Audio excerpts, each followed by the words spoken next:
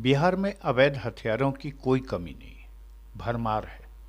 और बात बात में लोग अवैध हथियार निकालकर एक दूसरे को धमकाने के लिए निकल पड़ते हैं। अवैध हथियार में आप समझ रहे होंगे कि हम देसी कट्टा की बात कर रहे हैं तो आप गलत हैं। बिहार में कार्बाइन तक देसी मिलता है और अक्सर अपराधी बड़ी घटनाओं को अंजाम देने के लिए इस देसी कार्बाइन का इस्तेमाल करते हैं। वैसे कार्बाइन देश में सिर्फ़ पुलिस वालों के पास होता है।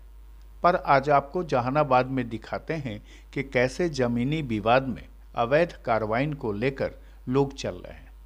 इस कार्रवाइन वाले आदमी को देखिए। इसकी चाल ढाल और कपड़े साफ़ कहते हैं कि यह खूंखार है और जिस तरह से हाथ में कार्रवाइन लेकर जमीनी विवाद में विरोधी को धमकाने निकला है उससे साफ़ है कि जहानाबाद में लोगों को पुलिस का खौफ नहीं है।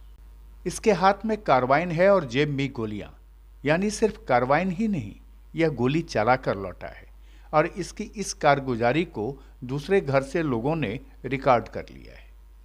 इसके एक साथी के पास देखिए कि देसी कट्टा भी है, और यह तस्वीर बताने के लिए काफ़ी है कि बिहार में सुशासन का नारा सिर्फ़ दिखाने के लिए है और हकीकत में लोग एक दूसरे से हथियार निकालकर हमला भी करते हैं।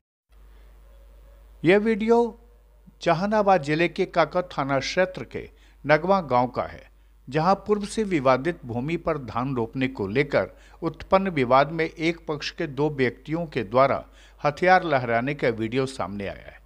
वीडियो में एक व्यक्ति के हाथ में देसी कार्बाइन तो वहीं दूसरे के हाथ में देसी कट्टा नज़र आ रहा है। देखने से ही लग रहा है कि दोनों युवक किसी से झगड़ा कर वापस अपने घर की तरफ़ लौट रहे हैं। हालाँकि खुलासा मीडिया इस वीडियो की सत्यता की पुष्टि नहीं करता है। सूत्रों से मिली जानकारी के अनुसार नगमा गाँव में वर्षों से ज़मीन का विवाद चल रहा है। उसी विवाद में दोनों गुट में विवादित ज़मीन में धान रोपने को लेकर झगड़ा हुआ था। झगड़ा में ही दोनों व्यक्तियों ने हथियार निकाला था। हालाँकि मिली जानकारी के अनुसार दो से तीन राउंड फायरिंग भी इन लोगों ने की थी। अब पुलिस इस वीडियो की सत्यापन कर कार्रवाई में जुट गई है। खुलासा के लिए जहानाबाद से मुकेश कुमार की ये खास रिपोर्ट।